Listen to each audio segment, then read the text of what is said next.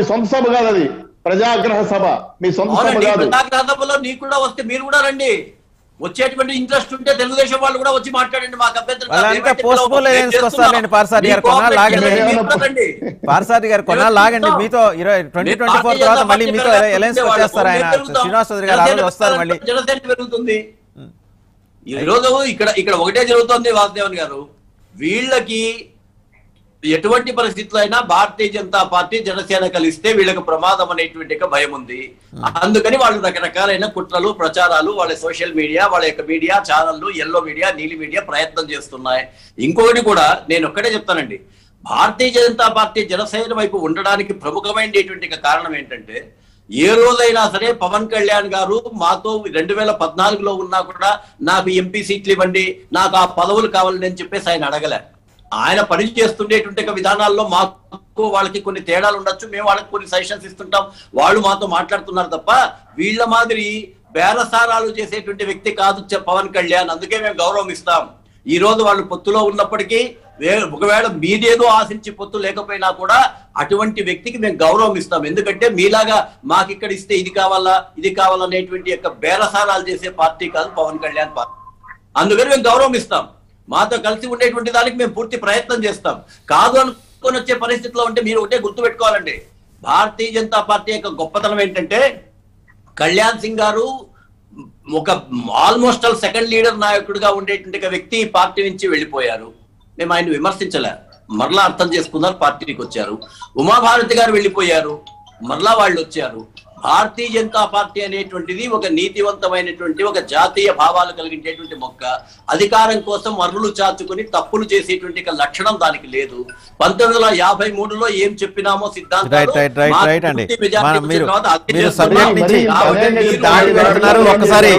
మరి కుమార్ గారి దగ్గరికి కుమార్ గారి దగ్గరికి సబ్మిషన్ ఓకే. పార్థసాది గారు ఈ మేడ్ యువర్ సబ్మిషన్ ఒకసారి కుమార్ గారి దగ్గరికి వెళ్దాం కుమార్ గారు నేను మనం వీర్రాజు గారి టాపిక్ మాట్లాడుకుంటున్నాం. అరకప్పు టీ దగ్గర నుంచి ఇక్కడ దాకా వచ్చింది ప్రస్థానం. జనసేన మొత్తానికి ఏదో కొంచెం మనస్తాపానికి గురైంది బీజేపీ వ్యవహారం వల్ల. అందువల్ల తెలుగుదేశానికి దగ్గర జరుగుతోంది అనేది ఒక అబ్జర్వేషన్. నేను వీర్రాజు గారి మాటలు బట్టి మనం ఇన్ఫరెన్స్ తీసుకోవచ్చు. ఆయన ఇది నేరుగా చెప్పరు. ఆయన చలోక్తులు చెణుకులు మనకు తెలియనివి కావు. సో ఈ క్రమంలో ప్రజారాజ్యం టూని వైఎస్ఆర్సీపీ తెర మీదకి తీసుకొస్తుంది అనేది ఇంకొక అబ్జర్వేషన్ నిజంగా అదే కనుక వస్తే that is going to hit Janasena very badly ఏమంటారు?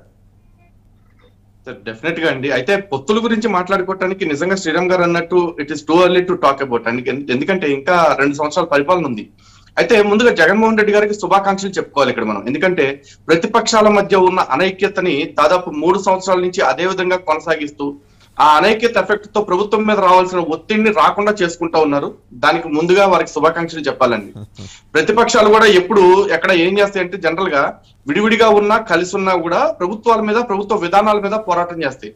బహుశా ఆంధ్రప్రదేశ్లో అదేం విచిత్రమో ప్రతి- ప్రతిపక్షాలు ప్రతిపక్షాలు ఒకరి మీద ఒకరు పోరాటం చేసుకుంటూ ప్రభుత్వం మీద ఏగ కూడా వాలకుండా చూసుకుంటున్నాయి. అన్ని పార్టీలు కూడా. అన్ని పార్టీలు కూడా అండి. దానిలో ఇంకా అంత బెటర్గా చెప్పాల్సింది ఏంటంటే జనసేన విషయం మాట్లాడుకోవాలి ఇక్కడ మనం.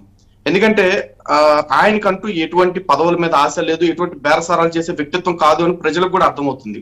కాకపోతే ఆ కన్సిస్టెన్సీ ఆయన మెయింటైన్ చేస్తే బాగుంటుంది పవన్ కళ్యాణ్ గారు. ఎందుకంటే ఊ అంటూ సడన్గా వచ్చేస్తారు ఏదో ఉద్యమం అంటారు ఒక రోజు రెండు రోజులు దీక్ష చేస్తున్నారు మళ్ళీ తర్వాత స్తబ్దుగా అయిపోతున్నారు. ఈ రోజు ప్రజలకు ఒక ఎక్స్పెక్టేషన్ ఉంది పవన్ కళ్యాణ్ గారి మీద. కానీ ఆ ఎక్స్పెక్టేషన్ పవన్ కళ్యాణ్ గారు సాటిస్ఫై చేస్తున్నారా అంటే డెఫినెట్గా నో అనే చెప్పాలి. యాజ్ అంటే ఒక న్యూట్రల్ పర్సన్గా మాట్లాడుకుంటే. అదేవిధంగా బీజేపీ గురించి మాట్లాడుతున్న పార్థసారథి గారు అన్నారు ఈ రోజు హిందువుల తరఫున మాట్లాడే ఏకైక పార్టీ హిందువులు గర్వంగా చెప్పుకునే ఏకైక పార్టీ అని. ఎస్ డెఫినెట్గా చెప్తాను దానిలో ఏ ఒక్క పాయింట్ మీరు డినై చేయట్లేదు. కానీ ఆంధ్రప్రదేశ్ పార్టీ ఆ పరిస్థితుల్లో లేదు. దురదృష్టవశాత్తు లేదు. నేను ఇంకోటి రామచంద్ర ఎవరైనా సార్ ప్లీజ్ ఆయన మాట్లాడండి. తర్వాత మీరు నాకు కొంచెం అవకాశం ఇస్తే నేను let him complete okay let him. Complete చాలా సార్. విషయాలు లెట్ చెప్పారు హిమ్ మీరు. కంప్లీట్ సంబంధం లేని విషయాలు చెప్తున్నారు మీరు ఓకే ఆంధ్ర ఓకే రాష్ట్రానికి let him complete let him complete Kumar garu మీరు మాట్లాడండి. ఆంధ్రప్రదేశ్ భారతీయ జనతా పార్టీ ఆ పరిస్థితుల్లో లేదు. కారణం ఎందుకంటే ఈ రోజు పార్థసారథి గారు చెప్తున్నారు ఆయన రామతీర్థం వెళ్ళారు కింద పడిపోయారు కింద పడిపోతే ఉద్యమం అవదండి ఉద్యమం అంటే ఏంటి? ఆ రామతీర్థం విషయంలో ఏం చేపించారు? అంతర్వేద విషయంలో ఏం చేపించారు? అంతర్వేద విషయంలో సిబిఐ ఎంక్వైరీ చేస్తామని చెప్పేసి అన్నారు. వాళ్ళు వేసారా లేకపోతే పోయి మీ మీద బాల్ మీ కోర్టులోకి తోస్తారు మీరు స్పందించారా మరి అక్కడ? మాకు కావాల్సింది రాజకీయ పార్టీగా బీజేపీని కోరుకుంటున్నాం అంటే బీజేపీ హిందువులకు అండగా ఉంటుంది కాబట్టి. అటువంటి హిందువులకి అండగా ఆంధ్రప్రదేశ్ ఏం సాధించిందో ఆంధ్రప్రదేశ్ బీజేపీ మీరు చెప్పండి. మొన్న యాభై రెండు మంది టీటీడీ స్పెషల్ ఇన్వైటీస్ జీవోలో హిందూ సంఘాలు కేసేస్తే భానుప్రకాష్ రెడ్డి గారు వేసిన కేసు వేరేదైతే అవినీతి పరులైన బోర్డు మెంబర్ల గురించి అయితే ఈ కేసులో హిందూ సంఘాలు గెలిస్తే సోమవీర్రాజు గారు ప్రెస్ మీట్ పెట్టి ఇది బీజేపీ విజయం అంటారు. బీజేపీ విజయం అనే కాడికి హిందూ సంఘాలు ఏం చేసుకుంటున్నట్టు మరి? హిందూ సంఘాలు ఏం చేస్తున్నట్టు? హిందూ సంఘాలు చేసే పోరాటం మొత్తాన్ని మీ ఖాతాలో వేసుకోవటానిక? అంతర్వేదులు అరెస్ట్ అయింది ఎవరండి? మా కార్యకర్తలు కదా హిందూ సంఘాల కార్యకర్తలు కదా? దాన్ని తీసుకెళ్ళి బీజేపీ విజయం అంటారు. బీజేపీ పోరాడింది కాబట్టి సిబిఐ ఎంక్వైరీ చేసామన్నారు మరి బీజేపీ పోరాడింది బీజేపీ విజయం కారణంగా సిబిఐ ఎంక్వైరీ చేస్తామంటే ఆ ఎంక్వైరీ ఇప్పుడు దాకా కమెంట్స్ చేయలేదు మరి కమిటీ. మరి దానికేం సమాధానం చెప్తారు? దయచేసి చెప్పేది ఒకటేనండి. మోదీ గారు ఎంత నిజాయితీగా నిష్ఠగా కష్టపడుతున్నారో అదే విధంగా ఇక్కడ కూడా పార్టీని బలోపేతం చేయడానికి కష్టపడిన అంతేగాని ఆ చెట్టు పేరు చెప్పి ఇక్కడ కాయలు అమ్ముకుందాం అనే ప్రయత్నం చేయొద్దని చెప్పేసి చెప్తున్నాను. ముఖ్యంగా మరీ చెప్పేది ఏంటి అంటే రాష్ట్ర నాయకత్వంగా ఉన్న సోము వీర్రాజు గారు ఫెయిల్ అయ్యారు. ఈ విషయాన్ని నేను చెప్పడానికి నేనేం సిగ్గుపట్లేదు ఎందుకంటే ఈ విమర్శ చేసుకుని మార్పు వస్తేనే రేపు బీజేపీ బలపడుతుంది బీజేపీ బలపడితేనే మా వాయిస్ బలపడుతుందని మేము నమ్ముతున్నాం కాబట్టి ఆ బలహీన నాయకుడిని ఆ అసమర్థ నాయకుడిని ఎవరైతే ఉన్నారో తక్షణం మారిస్తే పార్టీకి మంచిది మా హిందూ సమాజానికి కూడా మంచిది. ఇక పొత్తుల విషయం అంటారా? పార్టీలు పార్టీలు మాట్లాడుకుంటే దయచేసి ఇలాంటి సున్నితమైన అంశాలు మాట్లాడేటప్పుడు జిల్లా స్థాయి నాయకులుగా ఉన్న జయరాం రెడ్డి గారు లాంటి వాళ్ళు అంత తొందరపడటం మంచిది కాదేమో బహుశా. ఒకటి మాత్రం సూచన. ఎందుకంటే మాట తోలాల్సిన అవసరం లేదండి. మనందరూ కూడా అభిప్రాయాలు పంచుకోవడానికి విశ్లేషణ తెలపడానికి వచ్చిన వాళ్ళం కాబట్టి. రైట్ శ్రీనివాస్ రెడ్డి గారు. ఒక్క నిమిషం అండి దయచేసి అంటే మళ్ళీ మీ దగ్గరకు వస్తానండి. శ్రీనివాస్ రెడ్డి గారి ఒక్క దగ్గరికి. నిమిషం సార్ ఒక్క నిమిషం సార్. దయచేసి నేను చాలా సార్లు మీకు రిక్వెస్ట్ చేసిన. దీనికి నేను సమాధానం రెండు నిమిషాలే చెప్తాను. ఓకే శ్రీనివాస్ రెడ్డి గారు వారు వీరు- ఒకటి శ్రీరామ్ మన కుమార్ గారు ఒకటి ఆలోచన చేయాల్సింది ఏమంటేనండి భారతీయ జన- ఈ రోజు రాజకీయం అనేటువంటిది పూర్తి డబ్బుమయం అయిపోయింది ఏ కార్యక్రమం చేయాలన్నా కూడా డబ్బులు లక్షల రూపాయలు ఖర్చు పెట్టేది ఇది. ఎందుకంటే వైఎస్ఆర్సీపీ పార్టీ తెలుగుదేశం పార్టీ డబ్బుతోనే రాజకీయం చేస్తోంది కాబట్టి ఈ రోజు మేము ఐ- వంద మంది ఉన్నా రెండు వందల మంది ఉన్నా కూడా మీరు ఓబీసీకి సంబంధించి ఉద్యమాలు మేమే చేశాం. టీటీడీకి సంబంధించినటువంటి కూడా చేశాం. టీడీపీ టీడీపీలో హిందూ సంఘాలు చేసినటువంటి దాంట్లో మీరు వచ్చారని మీరు అంటున్నారు. నేనేమంటున్నానంటే మిగతా పార్టీలు రాలేదు కదండి మీ- మీ వైపు. వాళ్ళు కూడా మిగతా పార్టీలు వాళ్ళు సెక్యులర్ అని చెప్పుకుంటారు కానీ వాళ్ళు సూడో సెక్యులర్స్ అండి. వాళ్ళు సూడో సెక్యులర్స్ వాళ్ళ మీద మాకు ఏ ఎక్స్పెక్టేషన్. లేదు. నేను- నేను ఏమంటున్నానంటే మేము కూడా మీతో కలిసి వచ్చి ఏ హిందూ సంఘాల తరఫున వీళ్ళు చేసినటువంటి దాంట్లో మేము కూడా ఉన్నామని చెప్తున్నాం తప్ప మేమే చేసినామని చెప్పడం లేదండి. రెండవది కూడా ఏంటంటే భా మీది హిందూ సంఘాలు అనేటువంటిది హిందూ ధర్మ రక్షణకు సంబంధించినటువంటి కేవలం ఒక అజెండా ఉంటుంది భారతీయ జనతా పార్టీ అనేటువంటిది ఒక రాజకీయ పార్టీ అయిన తర్వాత హిందూ సంఘాల అజెండా కూడా it is a part and parcel of our activity. మాది సమాజంలో ఉండేటువంటి అభివృద్ధి ఏ విధంగా చేయాలా? దాని మీదనే ఎక్కువ ఉంటుంది. మరి మీరు హిందూ సంఘాలు ఓబీసీ మోర్చాకి సంబంధించి చేయలేదని చెప్పి మేము నిందించలేం కదా? ఎందుకంటే దాని మీ యొక్క టార్గెట్ అనేటువంటిది హిందూ ధర్మ రక్షణకు సంబంధించినటువంటి టార్గెట్ ఉంటుంది. భారతీయ జనతా పార్టీ యొక్క టార్గెట్ ఎంతసేపు అయినా కూడా ఇక్కడ రాజకీయం చేస్తూ ఎదగాలనేటువంటి టార్గెట్ ఉంటే ఉంది. కాబట్టి ఇంకొకటి మేమేమంటా అంటే మేము బహిరంగంగా హిందూ సంఘాలు చేసేటువంటి దానికి కానీ ఏ పార్టీ చేసినా కూడా హిందూ ధర్మ రక్షణ కోసం తెలుగుదేశంలో మేము పొత్తులో ఉన్నప్పటికి కూడా అక్కడ ఇరవై ఏడు దేవస్థానాలను కూల్చేసేస్తే భారతీయ జనతా పార్టీని వెళ్ళి ధర్నా చేసింది. ఆ రోజు సాక్షాత్తు మా యొక్క ముఖ్య మ- మాణిక్యాలరావు గారు మంత్రిగానే ఉన్నారు. అక్కడనే మేము ధర్నా చేసాం ఖచ్చితంగా ఇవి మొత్తం పునరుద్ధరించాలని చెప్పేసి మేము అడిగాం. అయితే ఇక్కడ ఏముందంటేనండి ప్రచారం మాత్రం మిగతా టీవీ ఛానళ్ళు కానీ ఏవి కానీ మావి ప్రచారం చెయ్యరు. రామతీర్థంలో జరిగినటువంటి ఒక సంఘటనని చాలా తక్కువగానే చూపిస్తారు. అంతర్వేదిలో మేము చేసిండే సంఘటనలు తక్కువగానే చూపిస్తారు. ప్రతి ఒక్క మండలంలో కూడా ప్రతి ఒక్క మండలంలో కూడా భజన సంఘాలన్నింటినీ కూడా ఏర్పాటు చేసి హిందూ ధర్మ రక్షణ కోసం మేము చేస్తున్నాం. గారు. అవుట్కమ్ ఏమైందండి? అంతర్వేదికి ఏడాది రామతీర్థానికి ఏడాది అవుట్కమ్ ఏదండి? అవుట్కమ్ ఉండాలి అంతర్వేది తల్లరికేసారు రాముడికి. నిర్మాణం కోసం కేటాయించిన డబ్బులు మూడు కోట్ల రూపాయలు కూడా ఇవ్వలేని రాష్ట్ర ప్రభుత్వాన్ని మీరు సమర్థిస్తుంటే మేము ఏం మాట్లాడాలి చెప్పండి. రాముడు సాక్షాత్తు దేవుడు భగవంతుడు. ఆయన తలనరికే సంవత్సరం అవుతా ఉంది. ఇంతవరకు ఆ దోషులు పట్టుకోలేదు. దాని మీద సిట్ వేశారు. ఆ సిట్ ఏమైందో తెలీదు. ఆ సిట్ అధికారి క్రైస్ట్ అని చెప్తారు. ఇన్ని రకాలుగా జరుగుతున్న కేంద్ర ప్రభుత్వ చేతుల్లో మీకు అన్ని అనుమతులు ఉంటే జైలుకి బెయిల్కి మధ్యలో జగన్మోహన్ రెడ్డి గారు అని చెప్పేది మీరే. మరి జైలు ఎందుకు బెయిల్ క్యారెక్టర్ చేయలేకపోతున్నారు? రాష్ట్ర ప్రభుత్వానికి పూర్తిగా నూటికి నూరు శాతం మీరు మద్దతు ఇస్తున్నారు కాబట్టి ఈ రాష్ట్రంలో న్యాయ ప్రవృత్తి కానీ హిందూ ధర్మాల మీద కానీ హిందూ సంస్కృతి మీద కానీ టిటిడి ఆస్తుల మీద కానీ టిటిడి అనిమత ప్రచారాల మీద కానీ హిందూ దేవాలయాలు ఏ ఒక్క దోషమైనా పట్టుకున్నప్పుడు మీరు చెప్పండి. శ్రీనివాస్ చౌదరి గారు, ఒక నిమిషం. పైసలకు దేవాలయాలు ధ్వంసం చేశారు. శ్రీనివాస్ చౌదరి గారు ఒక నిమిషం. టీడీపీ మాదిరి మేము మెయింటైన్ చెయ్యము చట్టంలో ఉండేటువంటి కేసుల్ని మేము విత్డ్రా చేసుకోలే. మేము విత్డ్రా చేసుకుంటే మాది తప్పు. చట్టంలో ఉండే లొసుగులు చాలా ఉన్నాయని చెప్పేసి మేము పదే పదే చెప్తున్నాము. ఈ రోజు మీరు చంద్రబాబు నాయుడు గారు అన్ని కేసుల మీద స్టేలు తెచ్చుకుంటున్నారంటే చట్టంలో ఉండే లొసుగులే. కాబట్టి ఆ లొసుగులు ఉన్నాయి కాబట్టి మీరు కూడా దాన్ని బయటపడుతున్నారు. వైఎస్ఆర్ నేను అడిగింది అది కాదు సార్ పాఠశాల గారు నేను అడిగింది అది కాదు కుమార్ గారు చెప్పింది మాట నేను అడిగాను ఇంతవరకు. మరి. Okay okay. మీరు గారు ఇప్పటికైనా శ్రీనివాస్ రెడ్డి గారు మాట్లాడివ్వండి శ్రీనివాస్ చౌదరి ఒక్క నిమిషం. శ్రీనివాస్ రెడ్డి గారు మీరు మాట్లాడండి. Srinivas Reddy garu Srinivas Reddy garu. Okay please please speak out Srinivas Reddy garu. Okay Parthasarathi గారు ఓకే అండి. Okay okay? శ్రీనివాస్ రెడ్డి గారు మీరు మాట్లాడండి. ఇప్పుడు ఏంటంటే మనం సబ్జెక్ట్లోకి వెళ్తే నిన్న వీర్రాజు గారి ఆ, అన్యాపదేశంగా ఆయన విసిరిన చెలోక్తులో అంతరార్థం ఏంటంటే డిఫరెన్స్ అదే డిఫరెన్సెస్ బాగా పెరిగినాయి డిస్టెన్స్ కూడా పెరుగుతోంది. అంతిమంగా తెలుగుదేశంతో కలిసి జర్నీ జనసేన చేసే పరిస్థితులు ఆయన నోటీస్కి కూడా వచ్చినాయి. అంటే ఆల్మోస్ట్ జనం నోటీస్కి వచ్చినప్పుడు ఆయన నోటీస్కి కూడా వస్తాయి బీజేపీ రాష్ట్ర పార్టీ అధ్యక్షులు. సో ఆవేదనతో ఆయన ఏదో మాట్లాడారు. దానికి తోడు ఇప్పుడు నిన్న కొత్త డెవలప్మెంట్ అంటే గడిచిన పదిహేను ఇరవై రోజులుగా ముద్రగడ పద్మనాభం గారి ఆధ్వర్యంలో ప్రజారాజ్యం టూ ఆవిర్భవించబోతోంది. అంటే దానికి ఇంకా పేరు పెట్టలేదు. ఆ ప్రయోగం ప్రజారాజ్యం ప్రయోగం లాగానే ఉంది. ఆల్మోస్ట్ అదే ఫార్ములా. మోసగాళ్ళకి మోసగాడి ఫార్ములాతోటే మళ్ళీ వస్తున్నారు. సో ఆ ఫార్ములా ఏంటి? అది వచ్చి మొక్కలో పుట్టి పుబ్బలో అంతరించిపోయేట్టు. ప్రజారాజ్యం ఎలాగ వచ్చి కాంగ్రెస్లో మెర్జ్ అయిందో ఈ తర్వాత ప్రజారాజ్యం టూ కూడా వచ్చి వైఎస్ఆర్సీపీలో మెర్జ్ అవుతుంది అనేది ఒక అంచనా ఒక ఎనాలిసిస్ పొలిటికల్ కారిడార్స్లో మీరే దాని వెనకాలండి నడిపిస్తున్నారు. జనసేన ఓటు కన్సాలిడేట్ అవుతోంది. పవన్ కళ్యాణ్ చాలా బలపడుతున్న తరుణంలో పవన్ కళ్యాణ్ని వీకెండ్ చేయటం బీజేపీకి పవన్ కళ్యాణ్కి మధ్య ఉన్న మైత్రిని చెడగొట్టడం ప్రజారాజ్యం టూని ప్రమోట్ చేయటం ఇవన్నీ చేయటం ద్వారా కాపు ఓటుని చీల్చేసి మళ్ళీ రెండు వేల ఇరవై నాలుగులో అధికారంలోకి రావడానికి మీ ప్రశాంత్ కిషోర్ ఆధ్వర్యంలో చేసిన వ్యూహరచనలో భాగమే ప్రజారాజ్యం టూ అని అంటున్నారు. ఏమంటారు సార్? కాపు ఓటింగ్ని మేము చేల్చాల్సిన అవసరం లేదండి. ఎందుకంటే కాపులంతా వైఎస్ఆర్ సిపి వైపే ఉన్నారు. కాపులు వైఎస్ఆర్ సిపి వైపు ఉండబట్టే మేము అప్రతిఘతమైనటువంటి విజయాన్ని సాధించాం. నూట యాభై ఒక్క సీట్లు సాధించాం. కాపులు ఓటింగ్ ఎక్కువగా ఉన్నటువంటి ఉభయ గోదావరి జిల్లాల్లో కూడా స్వీప్ చేశాం. కాపుల మధ్య చిప్చు పెట్టాల్సిన అవసరం మాకు లేదు. కాపులు ఎందుకంటే మా సోదరులు వాళ్ళు మాతోనే ఉన్నారు కాబట్టి తర్వాత ఇందాక కుమార్ గారు ఒక ఒక విచిత్రమైన వ్యాఖ్య చేశారు. ఏంటంటే ఆయన చేసింది ఈ రాష్ట్రంలో ప్రతిపక్షాలు ఐక్యత లేకుండా ఉన్నాయంట. ఈ రాష్ట్రంలో వైఎస్ఆర్ సిపిని విమర్శించే విషయంలో వైఎస్ఆర్ సిపిని అడ్డుకునే విషయంలో వైఎస్ఆర్ సిపి చేసేటటువంటి మంచి పనులను కూడా వక్ర భాష్యం చెప్పేటటువంటి విషయంలో ఎరుపు నుంచి కాషాయం దాకా ఒకే బాట నడుస్తున్న మాట నిన్న విజయవాడ సభలో రుజువైంది. నిన్న విజయవాడ సభలో వాస్తవాలని మరుగున పెట్టి రాష్ట్ర ప్రభుత్వానికి పురంధేశ్వర్ లాంటి గౌరవనీయమైనటువంటి నేత కూడా ఎన్ని అబద్ధాలు చెప్పారంటే వేదిక సాక్షిగా ఏ ఈ రాష్ట్రానికి పెట్టుబడులే రావట్లేదంట. మరి సన్ ఫార్మా కంపెనీ లేటెస్ట్గా ఆ సభ జరుగుతున్న సమయానికి అప్పటికే వచ్చి ఉన్నది.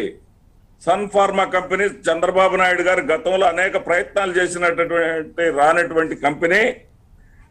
పదిహేను వేల పైగా పదిహేను వేల ఎనిమిది వందల కోట్లకు పైగా మరి ఇవ్వాల్సినటువంటి బకాయిలన్నింటినీ చెల్లించినటువంటి ఈ ప్రభుత్వాన్ని జగన్మోహన్ రెడ్డి గారి సామర్థ్యాన్ని జగన్మోహన్ రెడ్డి గారి పరిశ్రమలు అభివృద్ధి చేయటం కోసం ఆయనకున్నటువంటి ఆయనలో ఉన్నటువంటి విజన్ నచ్చి పెద్ద పెద్ద పరిశ్రమలు వచ్చి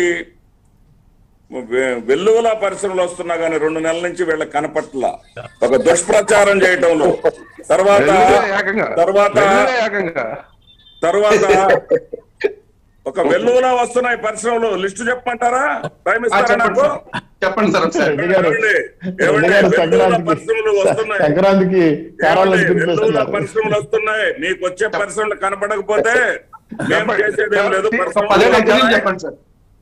చెప్పండి గారు. నూతన సంవత్సరాన్ని మీ మీ ద్వారా. సంక్రాంతికి తీపి కబురు పెడుతున్నారేమో. ఏమండి పది కంపెనీలు వస్తున్నాయి. సన్ ఫార్మా వాళ్ళు నిన్న ముఖ్యమంత్రితో సమావేశమై ప్రకటించడం కూడా జరిగింది. నిన్న లేటెస్ట్గా జరిగింది నేను చెప్తున్నా. అంతకుముందు ఏ రోజు కూడా రో డే బై డే ప్రతిరోజు కూడా రోజు మార్చి రోజు ఏదో ఒక పారిశ్రామికవేత్త ముఖ్యమంత్రిని కలిసి మరి వాళ్ళ సంస్థలు పెడతామని చెప్పి చెప్పేటటువంటి విషయాలు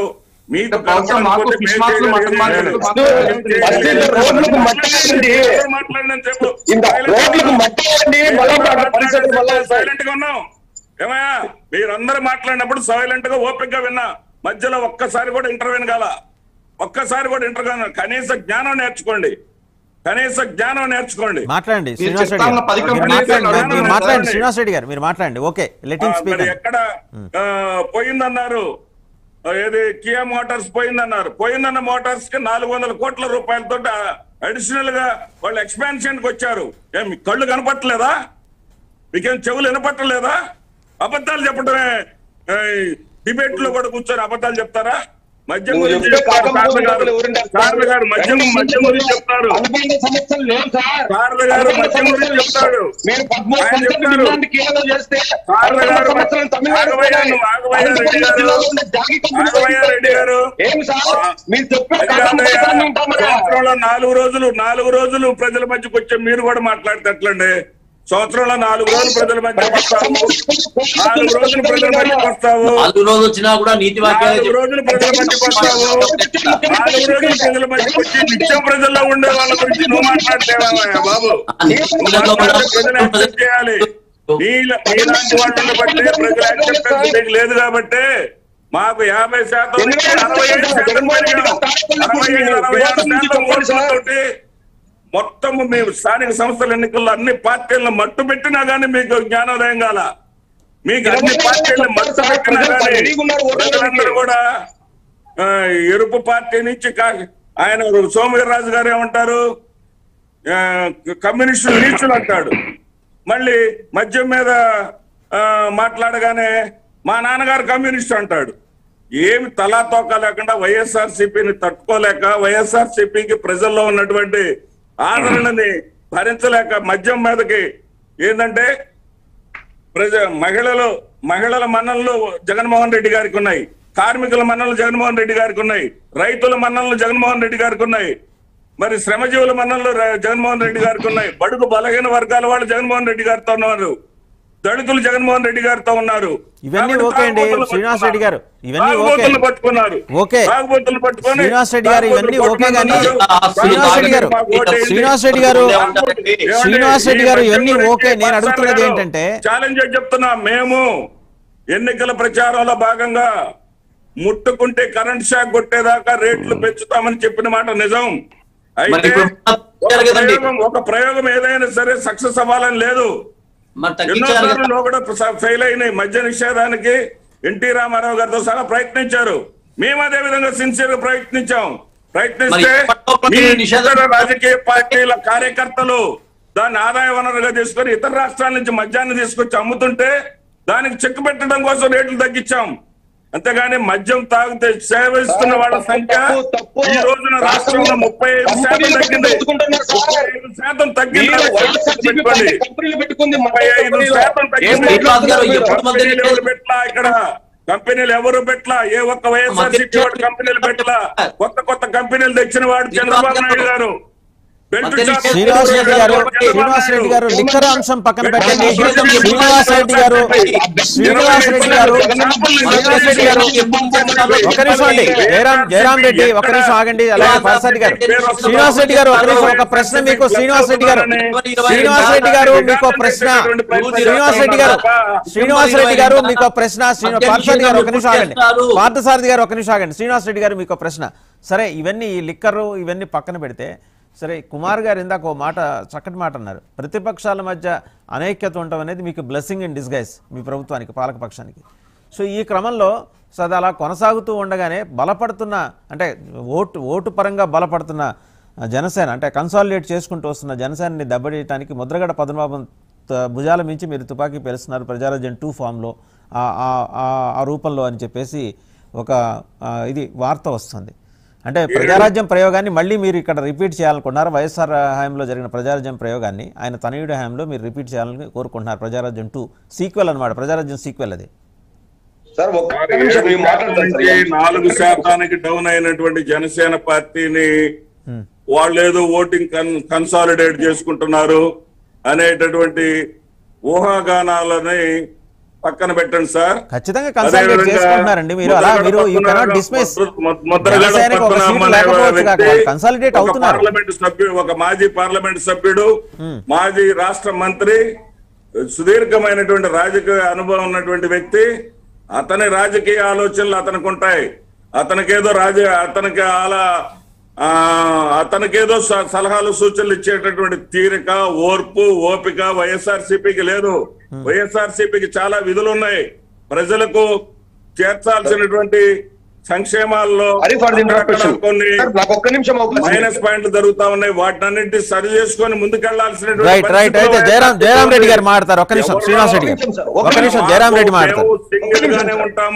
రైట్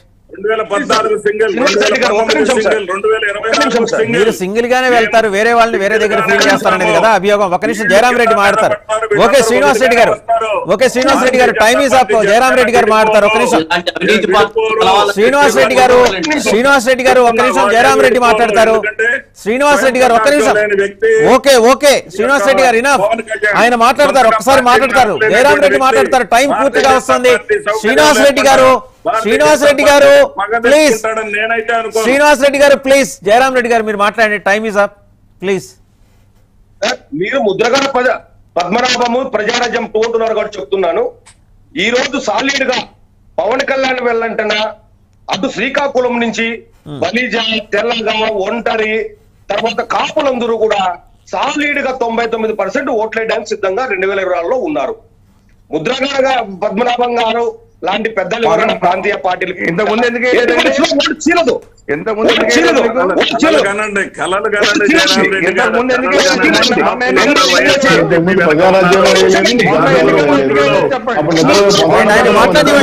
జయరాం రెడ్డి గారిని మాట్లాడివ్వండి please please please please Jayaram Reddy గారిని కంక్లూడ్ చేయనియండి శ్రీనివాస్ రెడ్డి గారు ఆగండి. శ్రీనివాస్ రెడ్డి గారు శ్రీనివాస్ రెడ్డి గారు ఆగండి. జయరాం రెడ్డి గారిని కంప్లీట్. ఒక శ్రీనివాస్ రెడ్డి గారు శ్రీనివాస్ రెడ్డి గారు ఆగండి. ఆయన్ని కంప్లీట్ చేయనియండి జయరాం రెడ్డి గారు ప్లీజ్. మీకు? నేను చెప్తున్నాను సార్. ఈ రోజు రెండు వేల పద్నాలుగులో కానీ పంతొమ్మిదిలో కానీ నీలి మీడియా ఎల్లో మీడియా చేసిన దుష్ప్రచారం ద్వారా కాపుల్లో అనేకత సృష్టించారు. ఈ రోజు కాపులు కావచ్చు మొత్తం శ్రీకాకుళం నుంచి ఆ, అనంతపురం జిల్లా అనుకుంటే బలిజలు కావచ్చు ఒంటరి తెలగలందరూ కూడా సిద్ధంగా ఉన్నారు ఓటేయడానికి జనసేన పార్టీకి. ఎప్పుడైతే జనసేన పార్టీకి ఆ విధంగా మొత్తం ఆ క్యాచ్ అంతా పోలరైజ్ అవుతుందో రెండోది ఏంటంటే వీళ్ళు రెండు దద్దలు ఉన్నాయి. ఈ వైఎస్ఆర్సీపీ కానీ టీడీపీ కానీ.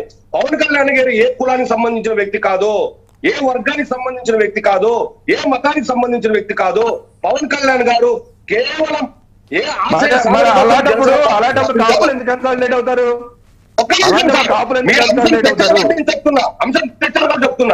అంటే ఓటు కార్డు వచ్చిపోయింది పొలం కావాలి. Right thank you thank you Jayaram Reddy garu. Thank you త్వరగా శ్రీరామ్ గారు శ్రీనివాస్ రెడ్డి గారు శ్రీనివాస్ చౌదరి గారు కుమార్ గారు అలాగే పార్థసారథి గారు అందరికీ ధన్యవాదాలు. ఇది ఈరోజు మార్నింగ్ డిబేట్. మరి కాసేపట్లో న్యూస్ బులెటిన్ ప్రసారం అవుతుంది. చూస్తూనే